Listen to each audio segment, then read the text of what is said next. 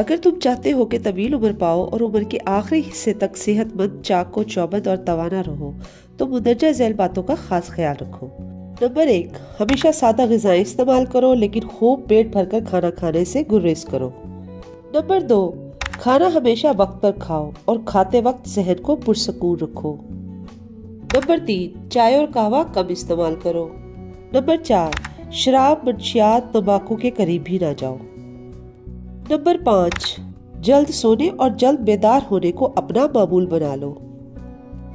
Number छह, नींद पूरी लो और सोते वक्त अपने जहन को उफकार ख्याल से पूरी तरह आज़ाद कर लो।